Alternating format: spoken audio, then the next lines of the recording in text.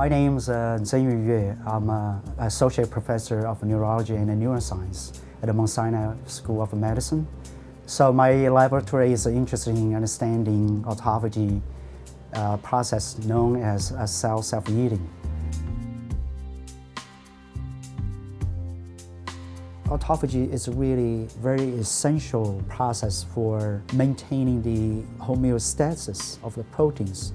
And you can also call it as a quality control process because it can dispose those bad proteins, those old protein, obsolete protein, the, the uh, damaged protein, damaged process, and then it can provide the new raw material to building uh, the new protein uh, complex, the new uh, organelle. So also like a recycling process. Autophagy is being implicated in, in many, many diseases. It's a really critical process that's important for um, maintaining general cell health. It's, it's like cleaning up your, your house, basically. We are seeing the most direct link between problems with autophagy and disease in the brain. So it seems that neurons, brain cells, are um, particularly um, bad at dealing with clogged up cells. There's a lot of work on the genetics. That's only 5% of the cases in Parkinson's disease. So what is going on? You know, could it be this mechanism is shutting down? And then can we find ways to enhance this cellular mechanism and, and enhance the removal of these proteins that are really bad for these dopamine neurons. Autophagy can be considered as a double-edged sword.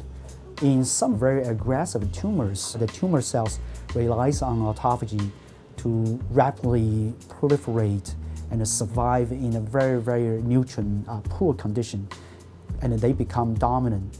So the idea is in those type of tumors, you will block autophagy Therefore, it can inhibit the growth of the tumor proliferation.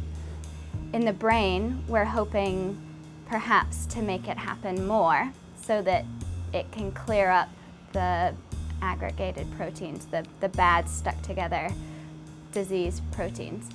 But then you have to think it, that you can't turn it on too much and degrade everything in the cell because you could almost eat the cell to death.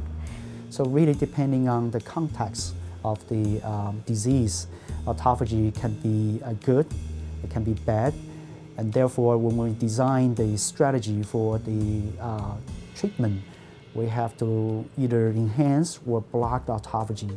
My research is mainly focused on a protein called Beclin.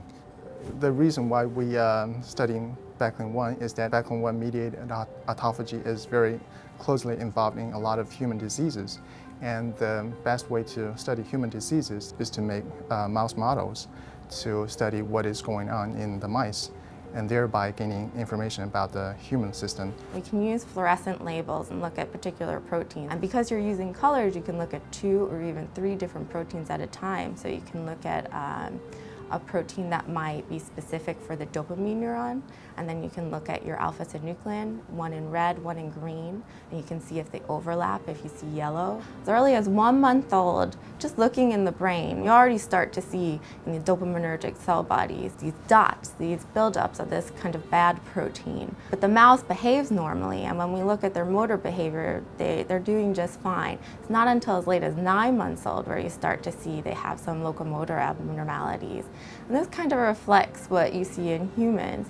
In human Parkinson's, uh, about 80% of the cells need to die before you start seeing symptoms.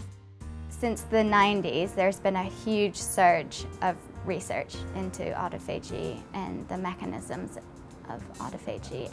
And it's been an incredible um, field to be in. I think overall the autophagy field is a very friendly field. uh, of course there is competition I mean, people try to publish data as soon as possible, but uh, there is a lot of collaboration going on.